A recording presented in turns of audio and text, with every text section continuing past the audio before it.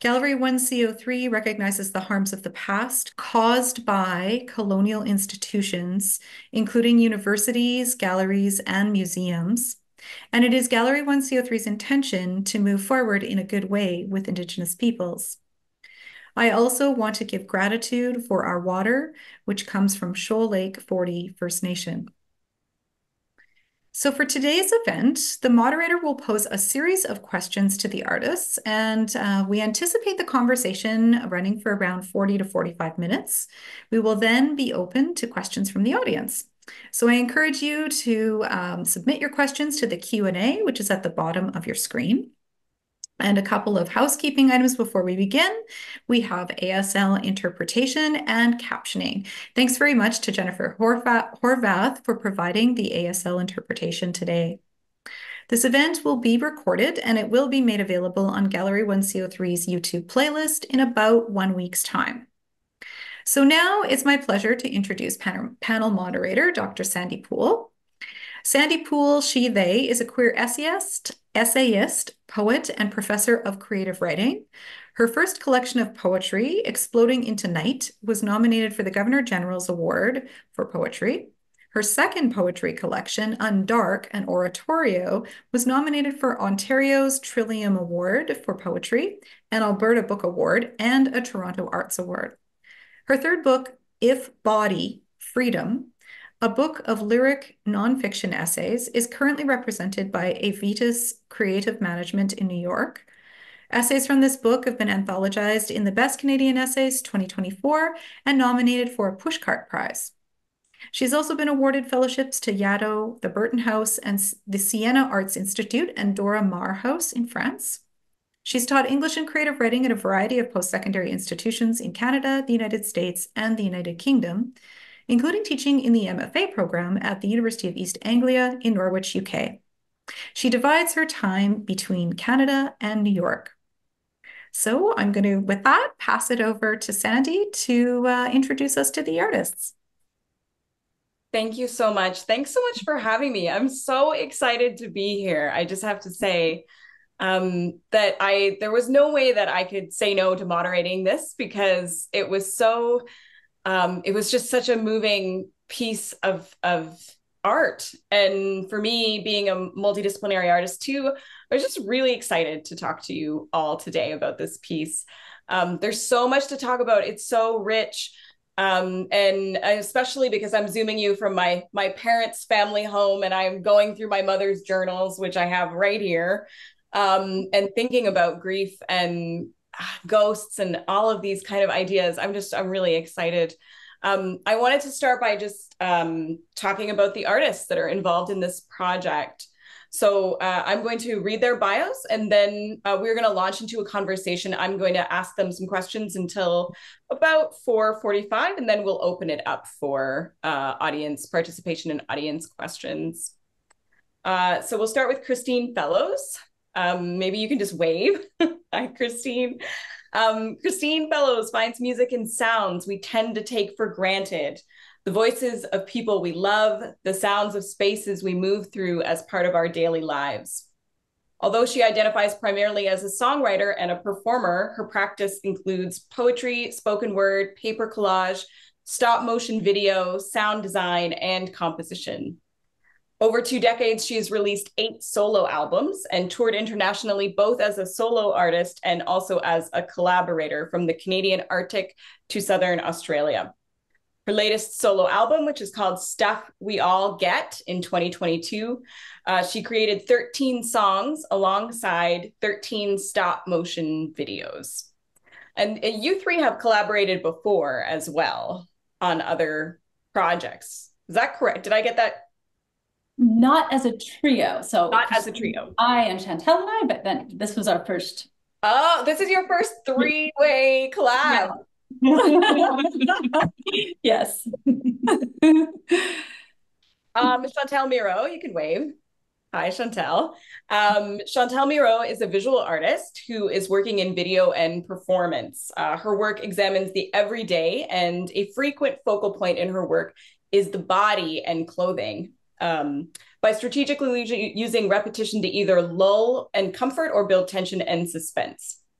Mierau reckons with the comfort and discomfort of living in a body. I love that. Um, the comfort and discomfort of living in a body since graduated from the University of Manitoba with a bachelor's of fine arts in 2011 she has exhibited both no locally and nationally her recent work three chores was exhibited in winnipeg at platform center for photographic and digital art in 2019 and was subsequently featured in BlackFlash magazine in 2020, which I know some of you, my students, uh, got a copy of uh, the Black Flash interview with the three of you also. So we'll talk about that too.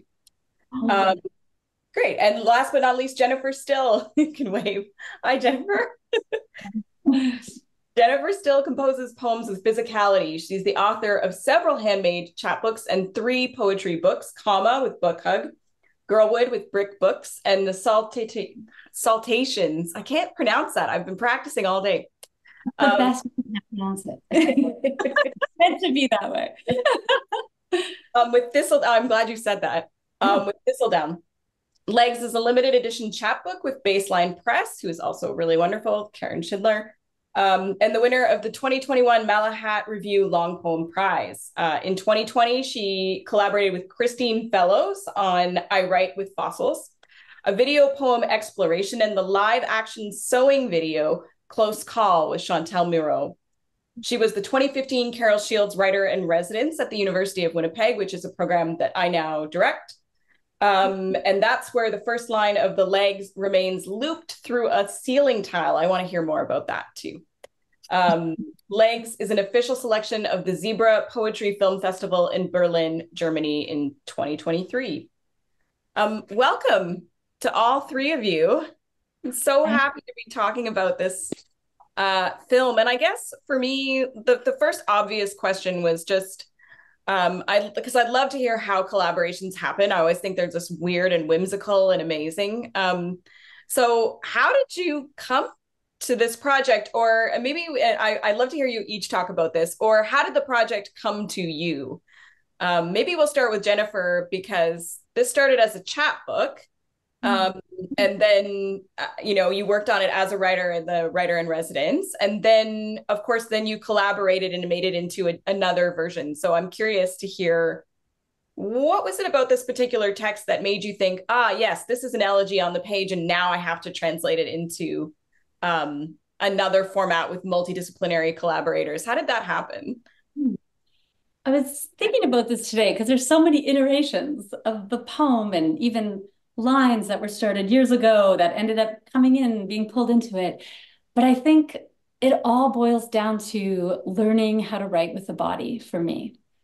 So I do that um, on the page or in in tandem with doing a, a, pretty vigorous exercise routine that seemed to bring me to language.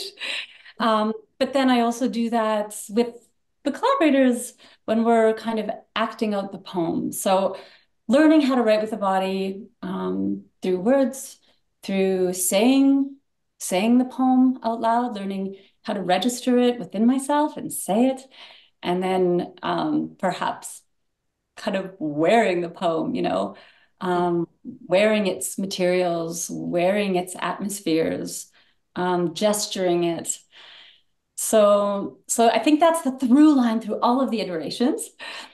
But basically, yeah, when I when after after I did write the poem, which was really about just trying to be at home and myself, I think, um, trying to after after I'd lost my mother, I was trying to, I guess, build some strength in many ways. But one of them ended up being through um, an exercise group that the three of us joined called Spaghetti and Meatballs. join this group, by the way. Sign me up. It sounds oh, really fun. Hey, you're in. You're already in. oh, amazing, amazing. Be careful what you ask for. Do you have badges? I would like. I would like a badge. We do. We do. Oh, amazing. we even have a bag. We even have a tote bag. We have it all. Love so, it the main yeah so we i just i think i want to do like kind of a shout out to our like lovely um, leader of spaghetti and meatballs um, who who helps us weekly find strength in ourselves physically which i think um, resonates through all of our pursuits in life So, uh, Robin Edge, thank you.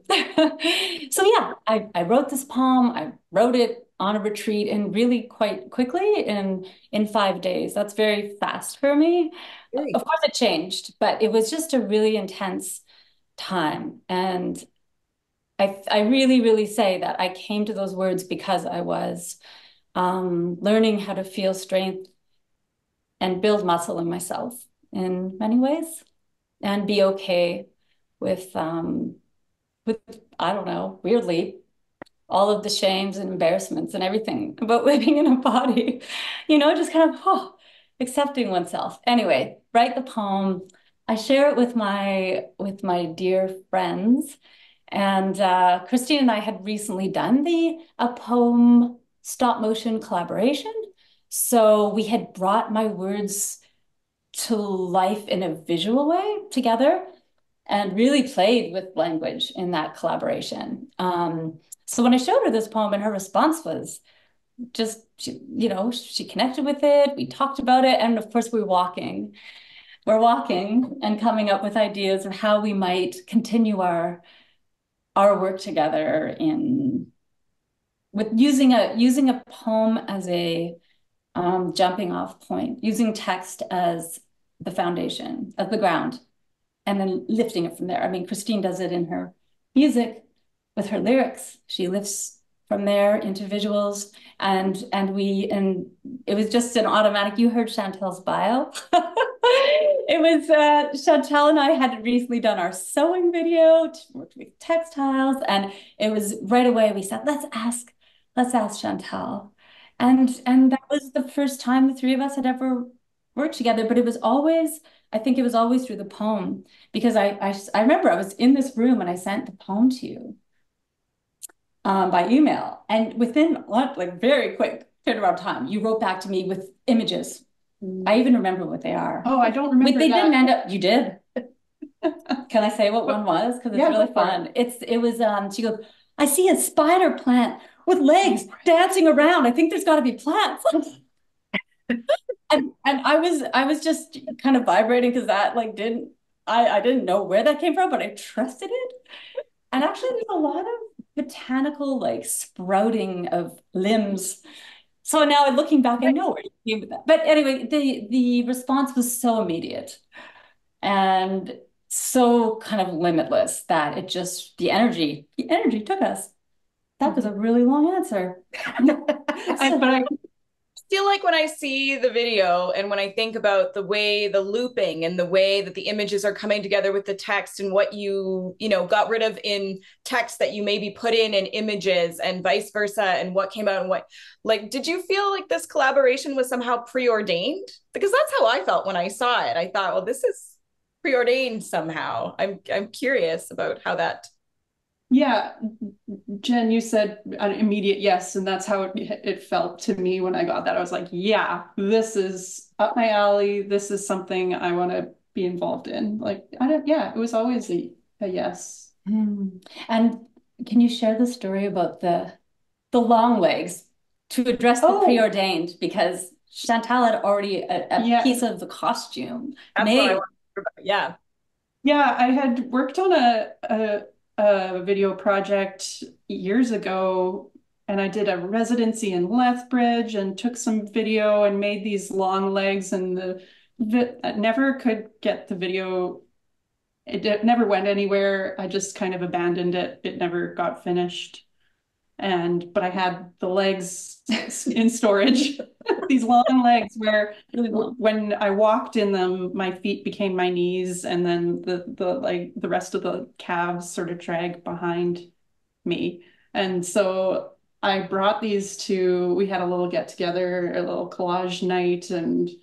Uh, I brought the legs there and put them on, and we just laughed and laughed. ridiculous. yeah.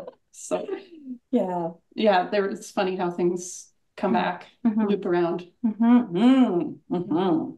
Yeah, let's talk about let's talk about metaphors. I mean, not just I I love the nylons. Obviously, the nylons filled with non-leg things, non-leggy things. Um, I particularly loved the um, uh, the crumpled paper gave it really like Oh, crumpled objects inside the nylons are really amazing. But also the more subtle metaphors, like this seemed like, um, and I think you just said it. You said it, we had so much fun, and I feel like this whole project was about like all, elegy, but also about like joy and finding humor and and I feel like the play was there with the metaphors. So like I I also like the constant juxtaposition between like the numbers being sparklers on a cake and then the kind of decrepit wall in the background. So you always have that kind of metaphor line, that contrast going.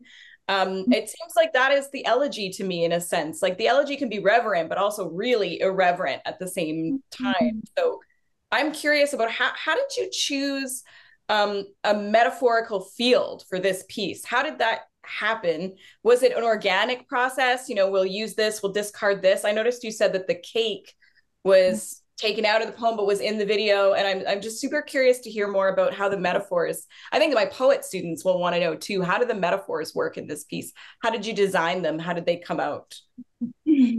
I think that's the great part is that we we didn't approach it with that idea at all. You know, that we're gonna we're gonna show, uh, you know, don't even know what to say, like elegy through these these numbers or home through what we did was we followed the poem. Really, it's this simple and kind of extraordinary. We listened to it and we represented it in a way that, that I think the three of us it, it it's it it landed like for the three of us um and then and then out of that um then the world as you say kind of chose it you know? Like the wind would pick up and show us oh my gosh we're working with a shadow. Because the shadow's swimming and kicking in the empty swimming pool right? Or the you know yeah we we arrived to the pool and it's been vandalized and the most interesting backdrop visually without thinking about metaphor entirely, you know, too consciously is appealing turquoise wall because it's beautiful, right? So I think for me, I'd love to hear from is following following beauty Mm. um and rendering pain through that to following following beauty to the tangible so oh and even sometimes is um the practical right because Yes. it's like 38 degrees at the bottom of a concrete swimming pool and poor Christine you know so is this gonna work because yeah it was so gross so what practically can actually work I'm pleased. I love that image, by the way, of the roller skates moving through the empty swimming pool, like on their own with the pool noodles. I mean, it's like that's it was spectacular. How does that how does that work with music, would you say, uh, Christine? I'm I'm super curious. Like, how did you uh how did that what was the process like for you? Well, the music, thank you for that question. That's there's music in everything, as I as I firmly believe. But especially to me, the music is the poem and the way that Jen in particular speaks. So it's like that's the first music, the first music. And for me as a as a writer also, it was a real gift to be able to take it and we edited in the air. We didn't edit on the page because we took the poem from, I think it was about almost 30 minutes when it was recorded end to end in its full iteration. And uh, that was a terrifying idea to me. Is I thought we were making a stop motion piece. And I was like, oh my God, we're going to be doing this for 10,000 years. 10,000 years of this project of us just like, click. And then, okay, we got four seconds, guys. You know, that, you know, one of those.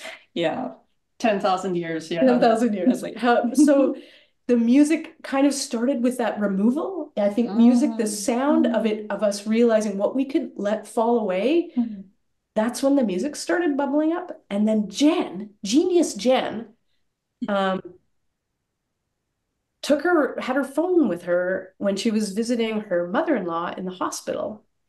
Um, and there was this weird sound outside the her mother-in-law's hospital room that she her mother-in-law was like, it's voices, it's a choir, it's a choir singing.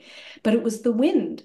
the wind uh, singing through a metal sign. Mm-hmm. And Jen brought this recording, and to me, it was like it was a choir. It was the you know that ma- like it was that magic. The first clue of like when you're trying to find what the what's the musical sound of this place of this piece what is it mm-hmm. and it was that eerie beautiful sound like mm-hmm. but this is so it all came from this guy this little guy this little ring mm-hmm.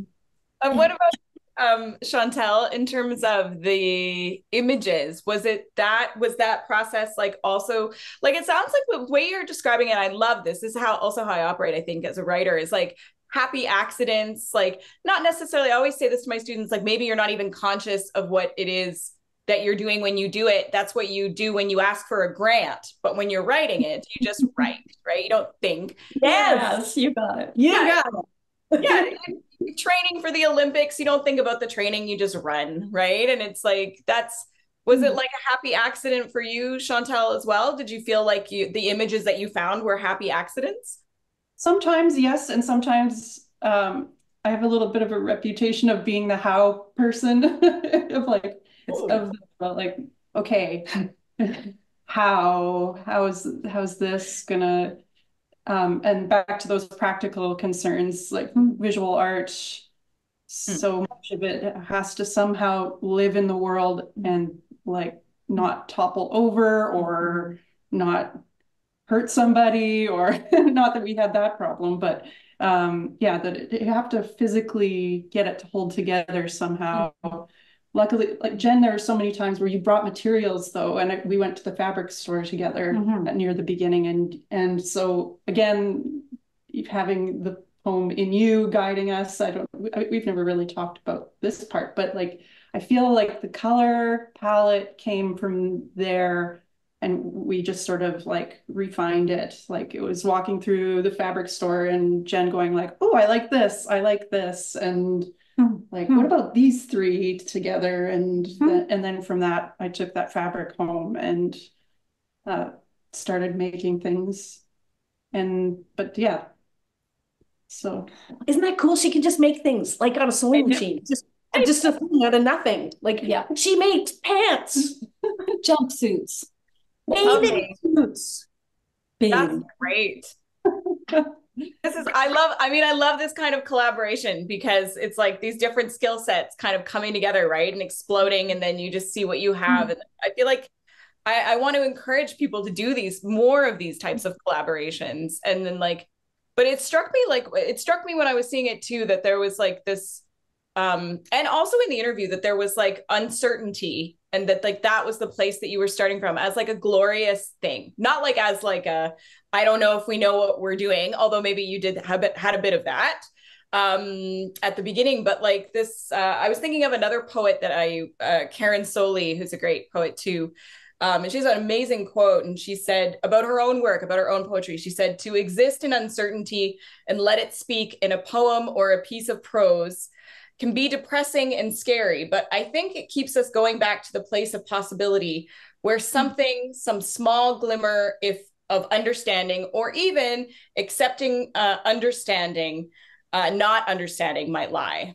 Mm-hmm. And I love that. And I wondered, like, can you talk about like not uncertainty, like I don't have the skills for this, but uncertainty as like a play as starting off place for this piece, like I, th- I feel really feel like you were playing with uncertainty a lot in this piece, but in a in a really playful, fun way. So I'd love to hear more about that.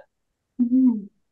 Yeah, I feel like that's a, a pretty natural mode for us, maybe, um, but in a in an exciting way, you know. And I feel like, for me, I feel like we grounded through the materiality of the project. So that was the grounding, not exactly what it would do or how it would be presented. But all I have to do is bring, you know, a bin and I'd have a list and we're going to go to this pool and we have, you know, and so just really, I think it has a lot to do with the trust between us as well, three people, you know, where I know I'm like, okay, for instance, um, reading, recording the vocals of this piece, um, and not knowing, I can't really hear my voice outside of myself, right?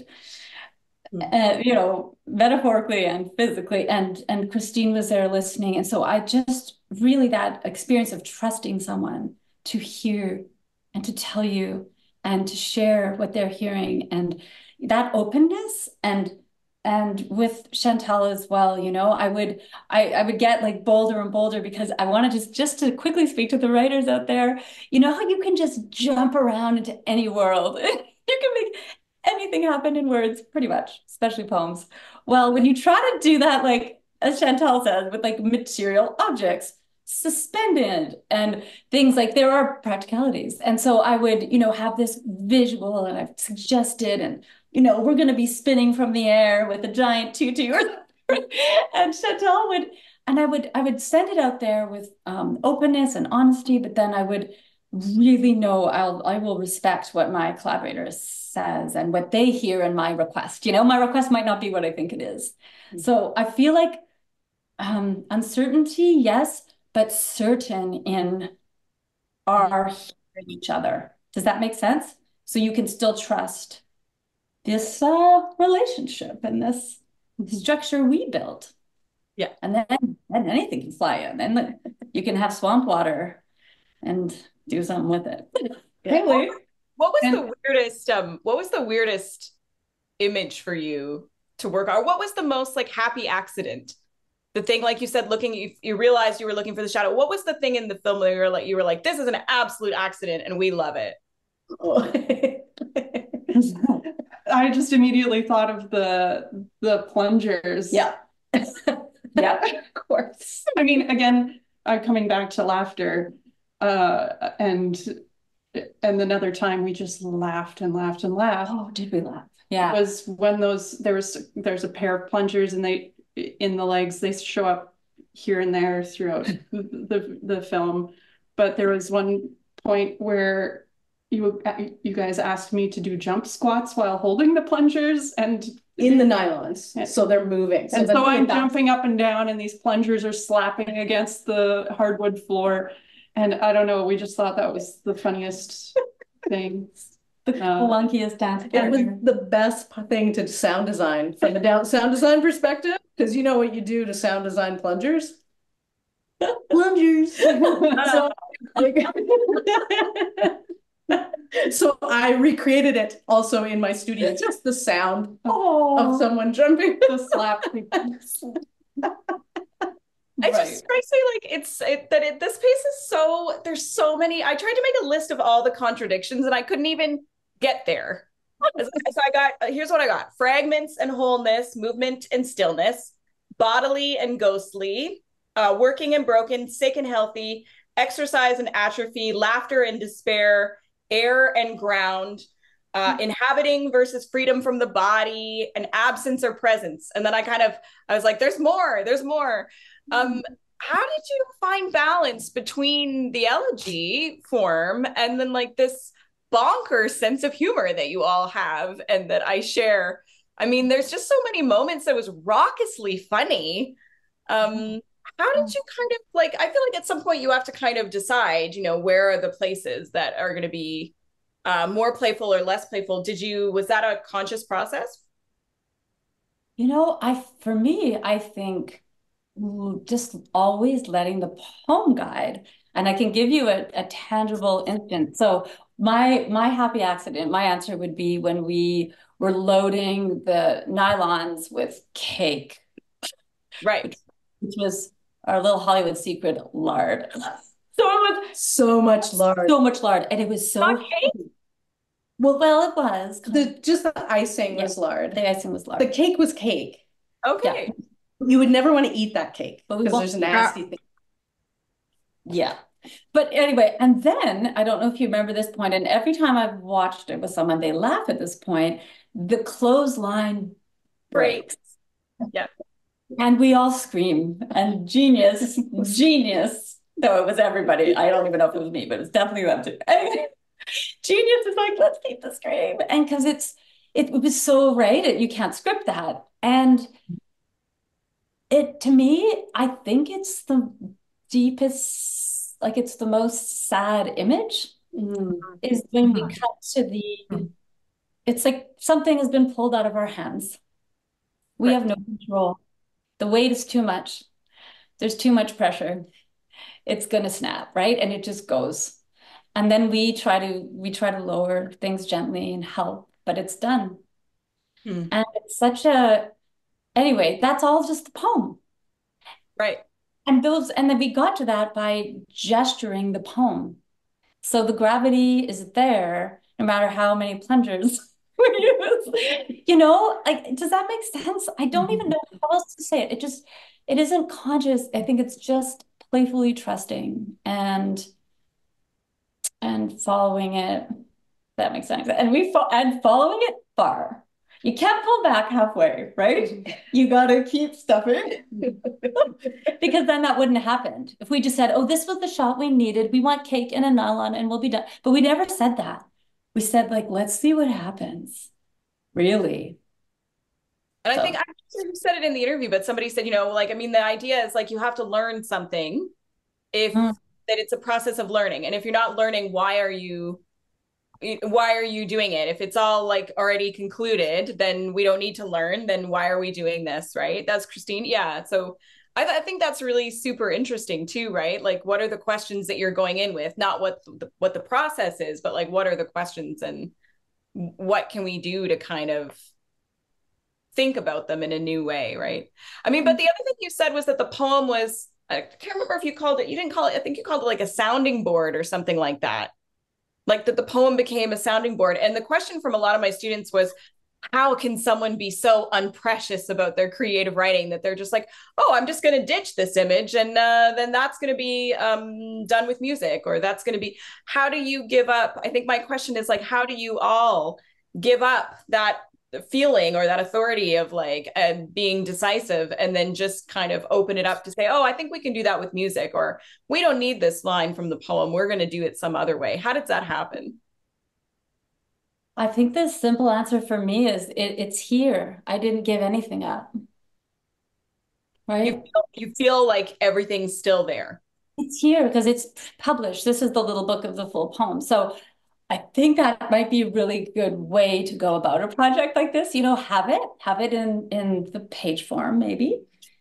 And also what I can learn about the piece when I give up something, mm. or what what I can allow to come in you know, would my collaborators have any fun? I wasn't allowing things to come in, you know, shifting, reinterpreting. I mean, don't we all just write the same sentence? We're just continuing the same sentence all our lives. Didn't someone say that? We speak in one sentence. Mary Ruefle. Yeah. Yeah. So I want to open the sentence. Yeah. You know? and, and also that every new book, I think it was Dionne Brand who said that every new book is a question that you didn't answer in the last book. Oh, yeah. And I love that with this project. It's like you have this book and that's an object and there's a question there. And then you have this other project and there's different questions maybe that you didn't answer in the book that you're then exploring in this like other format. I think that's super. I mean, that's an amazing way to make art, right? Yeah. Mm let me ask you about ghosts. I love ghosts. I'm writing, I'm working on a book about ghosts. Um, so I have a question for, oh, let's start with Chantel. I'm, I'm curious about clothing as ghosts. I just went to London last year to see the Louise Bourgeois clothing as ghosts exhibit, where she talks about clothing and the clothing from her childhood that she hangs up in these kind of cells and they like belong to her mother and they belong to like her uh, family members. And like uh, i love this quote where they talked about um you know the, the I, I was thinking specifically about the nylons mutating into different kinds of things. Like sometimes they're legs and sometimes they're you know like a sea creature slithering through the water or sometimes they're like seeping. Um, how did that kind of happen for you? Was that a natural a natural process? Like, do you see clothing as ghosting? Is there like a, is there a sense of that in the imagery? Yeah, absolutely. I think clothing is always in some way a stand-in for the body. Um, and it's yeah, the, the um, there's a book I was reading and I'm bad at remembering names, so I will forget who the author is. I'll probably forget what the book is about. but there was it was about um, history of textiles, and they had this picture of a shirt that was found in a pyramid, and it's one of the oldest Mhm. garments, preserved garments that Mhm. has been found. And it was found in a way where, you know, when you take off your shirt like this and then you just like throw it on the floor, it, it was discarded that way. And um, the there were still, because it was linen, there was still, you could still see the creases of the elbow and the armpit. Wow. And yeah, those creases, like your body then creases your clothing with Hmm. its humidity and its heat. And then like, I don't know, the body is always, we wash it and press it and try and bring it back to not having the body in it. Um, because sometimes that can get gross, but um, yeah, I think that yeah, that that association, it's all the body and clothes, the clothes are in, in the body, and like mm-hmm. there's hardly any times where you're not touching some kind of textile, even if you're naked, you're you're in a towel, you're in bed, you're touching some kind of fabric mm-hmm. almost always. So that association is like it's it's there. It's it's un, like I find it's un, I've never wanted to break it, but I find it's pretty hard to break that association. Um, yeah, so. I mean that because they were saying about the Louise Bourgeois exhibit that like the suspended the, the the clothing like the fabric suspended was kind of like uh like like trying to kind of emulate the movement too of like ghostly mm. spectral movement and it made sense but the other thing was that the clothing outlives the person mm-hmm. Which is something i hadn't really thought about like that that's what we're left with these i'm left with these mm-hmm. you know these journals these objects these like tangible objects and like i'm looking at them for clues right um mm-hmm. and i feel like the clothing is so I don't know, the, the, the, spectral is really prominent in this piece in a very subtle way, but the spectral is always there. Um, I don't know, I'm not really formulating a great question, but can we can we talk a little bit about the spectral? Like I'm I'm mm. curious. I can see it certainly in the in the clothing, but I'm sure it's there in all ways too. Yeah, and I guess like the nylon, that, that's maybe a, more of an accident too with the transparency of the nylons. It was like, oh, well, this that ephemeral, um, gauzy, kind of mm-hmm. ghostly mm-hmm. uh, quality comes with it mm-hmm. because of the type of fabric we were using. So yeah. Mm-hmm. Well, and the pattern paper, I loved when the, I, I don't even, I think it was an accident, like your window was just open. We were hot. We were hot and the window was open. It was summer. And so, and trying to deal with all these, this pattern paper and it just started blowing, started blowing and we're rolling and I'm like, oh my God, this looks amazing. Like, because it's alive, it's alive, of course. And all the things you made, Chantel, all those, the, the, the legs, they're alive. Like they suddenly, you just give them just a little bit of, of uh, wind and they, they just want to sing, I guess, you know? You have that great moment where you're connecting the calves, the, the pattern paper is like hitting the person's calves and you've got this like beautiful happy accident again. And I maybe I'd like to address the spectral in the sound as well and in the voice. You know, um, I think as Christine mentioned about how the wind came to us, there were the voices. They were ghost voices, right? Mm-hmm. And and all the entire sound design, right? That's that's all coming from environments that, yeah, are are kind of like this the met metaphors of the poem too if that makes sense. Um, so yeah, sensual spectral, you know, just the bodily spectral. mm-hmm, mm-hmm. But the but I think in the sound, in the air, and the wind, and the and in the voice, um, on this um, piece that I worked on with Christine when I our first stop motion. I don't think I've ever told you this. Oh no. no, but there's a there's she had done some layering of voice so as I read the poem, like she'd done some echoing of my voice. And every time I hear it, I actually hear my mother's voice. And I've oh. never, but it's, I think it's, and I actually love that because it was more than me. It's not just me. And maybe that's another way to think about it. It's more than us, you know? It's not just, you know, these words. It's, we're inviting in a lot more. And I love, I thank you so much for the question. I love your, your talking about work with ghosts. Sounds incredible. Who named it the Honeycomb Bell Chorale? Is that well? No, oh, look at all this I have to just because I have all my little. It's right here. They're like handwritten composition. Oh, amazing. It's so beautiful. Is But- it though? Is it? It is. It is. And it has one single lyric.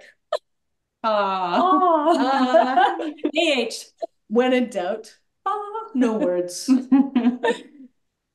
That's an interesting question. How did you decide um, on what types of instruments you might want to use? Or was that, were you playing with sounds while you were also in the room recording? Like, how did that actually happen? Or were some of them post, done in post? Well, yes, a lot of, in fact, because we, when we started this, we didn't really know what we were doing. I wasn't um recording except when we were out uh, you know on location when we were at the lake and at the pool I did get some audio. But I wasn't planning I wasn't getting we didn't have a sound person right? It was just the three of us. I mean we didn't have a Yeah. person holding the getting the anything because there was no dialogue right? So I was just like I'll just build it all later whatever it is it'll just be whatever. Ooh. um note to self always be recording Ah, but it the it actually came from that first recording, that hospital, that recording of the this the sound of the wind. And I feel like yes, the suddenly it was like the wind talking to us from from your mother-in-law's hospital room. Like Mhm. the wind was was telling us right at the beginning that this is what it was. And of course, singing is just it's breath. And so it had to be, it had like, I just, I knew there needed to be something that sings to that sound that that you brought me. And so it kind of the chorale came out of that sound. And of course, I organized my disappointment accordingly. You know how it is, you're like, it's gonna be so amazing. It's gonna be like, and it's like actually we have it has to be executable. You know how you're like, you know how you're like, it's gonna be so complicated, it's so totally weird.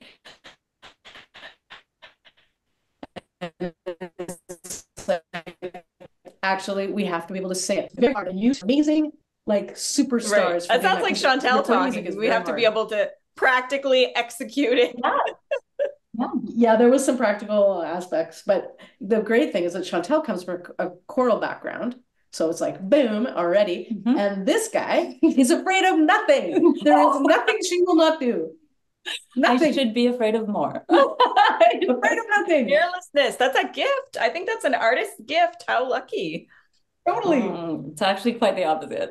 Oh goodness. But yeah. Well, we have to ask questions of the audience, but I want to get my one last question in really quickly. So I'm super curious about, so we have this text, then we have this iteration, and then it's installed in a gallery space. And that's really significant, I think, and important too. I'm I was thinking a lot about fragments. We didn't get to too many too many fragments in this conv- conversation, but um, thinking about like how a fragment can signify a whole, like you know, a metonymy type of situation. Like how much of a fragment do you need to make meaning? And I think this would be helpful for my prose poetry students too, like how to work with those fragments and then seeing those fragments, those fragments of clothing, those fragments of like you know desks and things in the installation space. I'm super curious, like how did you choose the way that things would look in the gallery space and how did that process work Hmm.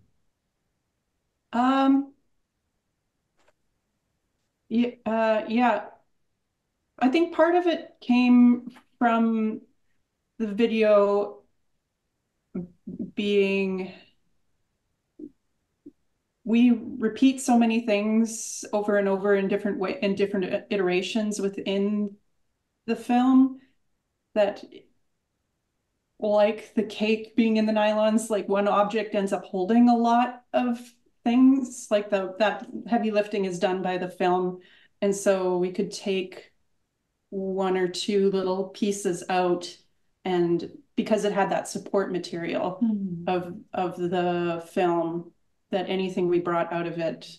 Hmm. Um, and then we did have a little uh, conversation about spoilers about um, yeah, what what do we want?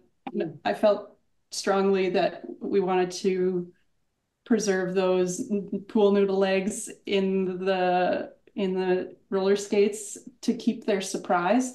So yeah, what do you want to keep as a surprise for later and what can can like when you enter the gallery it you see it all at once.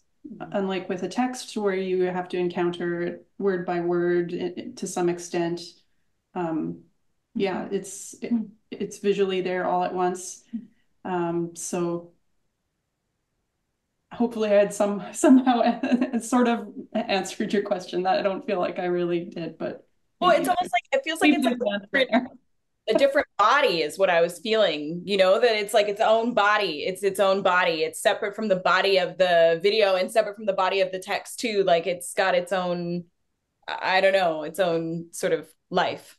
And I just remember Jen when we were talking about it, you said something. I was like, oh, I'm going to latch onto that, and that will be our guide is you were saying i want to feel like you can walk through the poem mm-hmm. what does it what what would it be like if you could walk through mm-hmm. this poem mm-hmm. and so just thinking about that like how much can you get with how little or like hmm. yeah i love that i love that I think I, I, mean I didn't get to see the gallery in person, so I got the photos of the gallery, but I still had the same impression that there is this like um the absence and presence was very obvious because there was empty spaces right? So you've got absence and presence constantly mm-hmm. and like that feeling of the the body of work this play on the idea of like the body of work and the body and um and then seeing it in a gallery space is also super interesting. It's like that's its own little galaxy its own separate gal it's almost like there's several galaxies happening at the same time.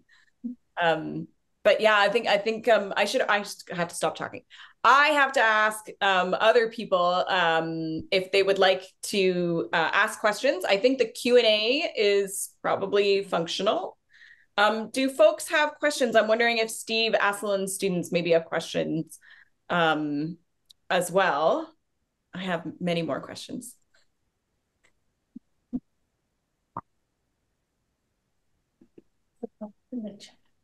I don't know. See what's going on in there. Show oh, here we go. Let's uh, Q and A. Cool. Okay. okay. So, do you, can you see the Q and A questions? Mm -hmm. Oh, Marion, hi. Okay. Uh, Marion, thank you to all of you. This collaborative work is truly making me cry with joy. Me too. Uh, when you lose your mother, you lose your breath. Thank you for giving us all the ability to breathe. Well said. Uh, shout out to the sign the signing for this panel. It is so collaborative work to taking collaborative work to another dimension, which it is, um, which uh, so I appreciate. Thank you. I'm also a huge fan of Robin Edge, although I haven't found my way to spaghetti and meatballs yet. My question is to ask if you're already part of spaghetti and meatballs before this collaboration began. And did you ever talk with Robin about this project? Oh, more collaborators. I was not a part of it and took some convincing to join. I thought that was not me. I don't exercise. Uh, I'm not about that. Mm-hmm. I don't want to feel that way. But then I I tried it, and yeah. And how do you feel now? Do you feel better? Yeah. Or uh, yeah, it, or you started rock climbing since then. Yeah, she yeah. climbs rocks now. I went once with my friend. I was not good, but I enjoyed it. so yeah, just learning. Mm-hmm. I think I was never taught how to learn a physical skill. It was always gym class. Always felt like I was just always being tested and never being mm. taught. Mm. Um, oh, that's huge. And now I have someone who is teaching me, like, this is what's going on when you feel this, and this is the difference between an injury and mm. just tired muscles. And this is the kind of pain you're looking for, and this is okay. And this, anyway. So yeah, I joined later. These two convinced me. It reminds me of like Alison Bechdel's new book, like getting really fit and dealing with uh, grief in your life and like this idea of like fitness in the body like as a way of like um it was described like reminding yourself that you're still breathing which is like uh something that jen i think you said in your in your piece as well like just that constant like wow. i've got body and i'm i'm embodied in my body and like you know the, all of those questions are there. Um yeah that's real I, I love the idea that you're all in an exercise group. I can't wait to join this group this is very exciting. It's so good. I mean, it's so terrible. We hate it. Everybody complains, like, and it's Monday at 5:30, and we're all like, oh, I don't want to, not today. But Robin says if you put your shorts on and you show up, Yep. then you're in, you might as well do it. Like, absolutely, absolutely. I'm gonna I, I will absolutely complain about it. it's part of it's Yes. it's totally expected. And then you'll just be for two days you'll just be so strong and you'll this was great and then so you'll have a, at least two good days a week right two, two out of five. That's not bad. Not bad. Um, okay, Anita says, uh, how did the editing process work? Did you all sit in front of the computer, like I assume together? Um, uh, did Christine build it along with the sound, etc.? I assume there were some outtakes. Um, it sounds like there were a lot of outtakes, right? Yeah. That's very sweet of you to come to this, Anita, and to ask a Mhm. question. Anita's a very wonderful animator and uh and a very yeah, it's uh it was an interesting process. Yeah. This process was very unlike I think for any of us uh, because we were all filling multiple roles. I had I was behind the camera for the first time because I got there the first day and Chantel was like, "You're gonna get behind the camera," and I was like, "What?" you would learn on your hands yeah, like, oh, this is crazy. And just it was all hands on deck for everything, which was very kind of I found it um very uh empowering isn't necessarily the word word, but it's uh it's like you just have to push past your fear and like, oh, I don't know how to do that. Of course you do. Of course you know how to like see or here you Mhm. know? So it, like humbling maybe in a way too Yeah. it's- Yeah. And and like I we all come with our own limitations. Like that part of that is I can't hold a camera steady to save my life. I'm way too shaky. So I need some people to like be like, I keep trying, I keep thinking I can do it, and then I could look at the footage and I'm like, no, this is not what I want, or this isn't quite so speaking back about the body again, about yeah. we have these limitations, that's part of the body mm-hmm. too. It's mm-hmm. there's things that just come with the package. Well, and limitations, as we know in art, it's like it's not a. Sometimes you think, ah, oh, if only you know, if I didn't have that limitation, I could do this. Whatever. But mm-hmm. no, the limitations are where all the really rich stuff is. I think it's like, yeah, you can kind of el stick your elbow in and try to feel your way around in it, but also uh, embracing it and also like collaborating and saying, "Hey, I my my hands are shaking, and I can you hold this?" Mhm. It's like, yes, I can do that. Yeah. But my I can't open a pickle jar to save my life. Can you open this? I'll open the pickle Pickles are jar. important. You hold the camera. It sounds like um, it sounds like improv. Ah, Where oh, the first rule is that you have to. I mean, this is just maybe this is just me coming from a theater background, but you have to say yes. Um, and you have to try it. It doesn't mean it's going to work. It's like not to say that the experiment is always going to be like 100% perfect, but that like that you say yes and you see what your limits are, right? It's like that's a really interesting process. Yeah, and back to the editing question, yeah, we all sat down and edited together. And that also really freed us up to, in the shooting process, even if there was something where I was like, I don't know about that, but let's get it because we don't, it, it can come in, it can go out, but then we have it. Like it, Mhm. there's, you're not making a commitment to it at that point, you're just exploring. So why not? Let's shoot it. And and then you Mhm. see later, oh, I was wrong. This is like necessary for this one point. and uh, boy, am I glad that we have that yeah yeah shot. Yeah. Mhm. I feel like there's a commitment too. Like you, you guys have a real like in the poem. There's that commitment to like I don't know what the term is. I want to use the word like review, not like as in to re-see something. You know, to like just see it again and think about it and reconsider it and reconsider it and reconsider it and reconsider it again in different ways over and over. And like that's something that really struck me. It's like that, and it struck the students too. Like sticking with an image is so hard as a writer it's Mm. easy to discard and make an image about the moon and then make an image about the cow you know it's like well okay but how do you how do you stick with something and actually like see it play with it until you can see it differently i feel Mhm. like that's something that like i i just loved about this piece and then like the the it kind of ties into the wordplay too um Right. It's neat because I was thinking about because your students are writing prose poems. Right? Yeah. So I was thinking about what I love in the prose poem because I'm almost exclusively working that way now. And and I think it is the way language is pressurized to be the punctuation in a way. I because I work in like really long lines and you know taking it right to the end so there's no line breaks, right? Mm-hmm. So how what's going to pace this? So if the language is pacing it, then that's where the rep rep repetition comes in.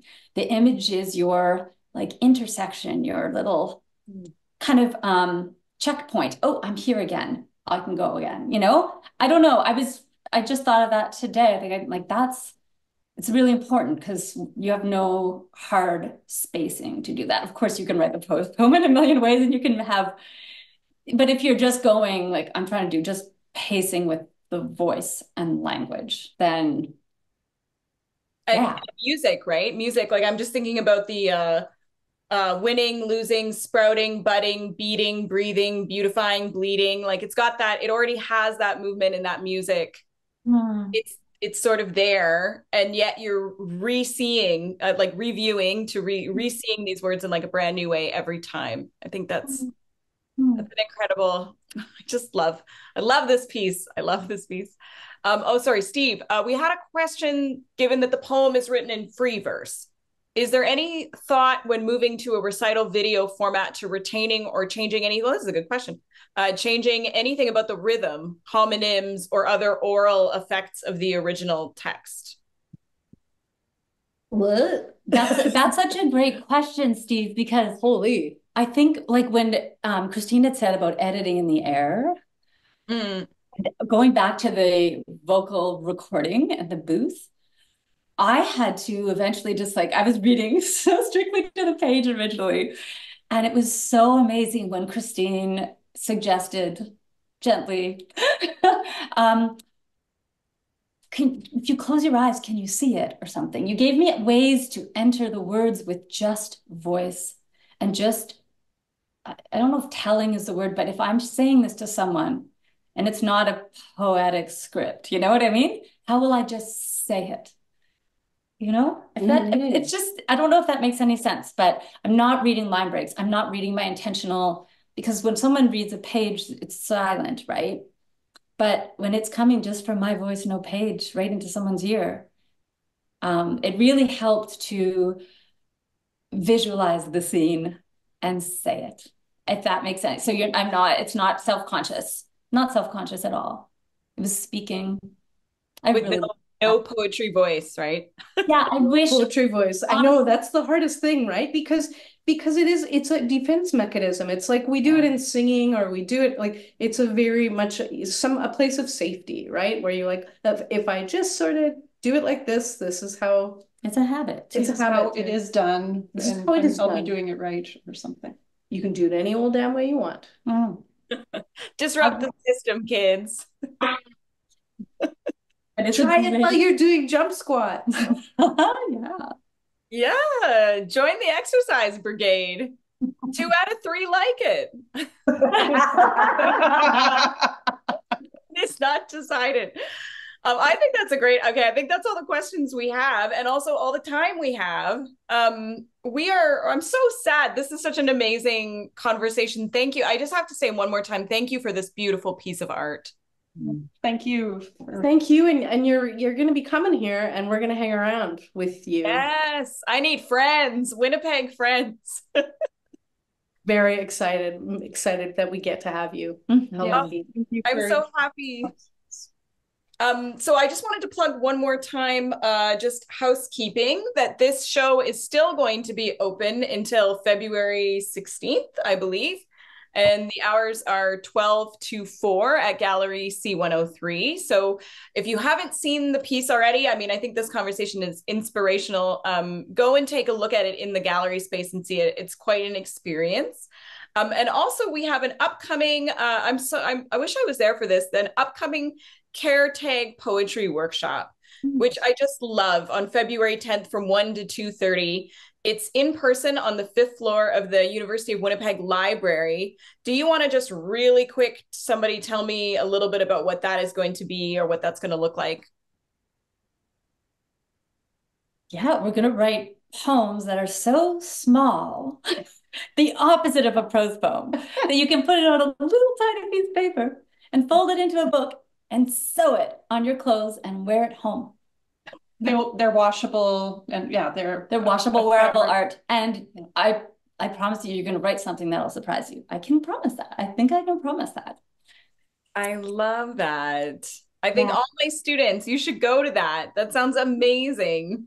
Um, it reminds me of Lindsay Ziervogel's love letters that she just left in the library. She'd go to the library and leave love letters to books, and then other people could go to the library and pick them up and read about them.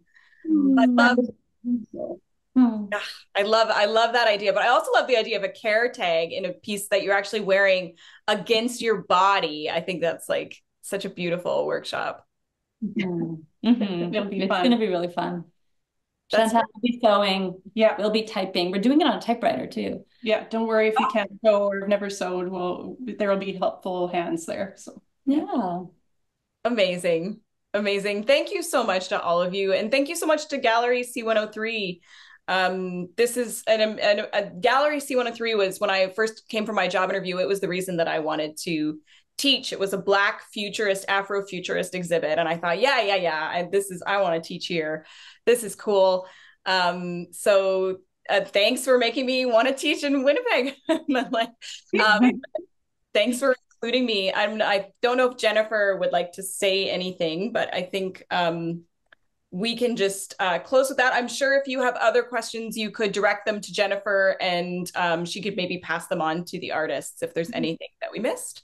Um, but other than that, thank you. Thank you very much. And uh, this was a great event. Thank you to all three of you. I look forward to hanging out when we get back to Winnipeg. Yeah, too. Us too. Thanks so much, Sandy. Thank you so much. Thank you, Jennifer. Good night. Bye.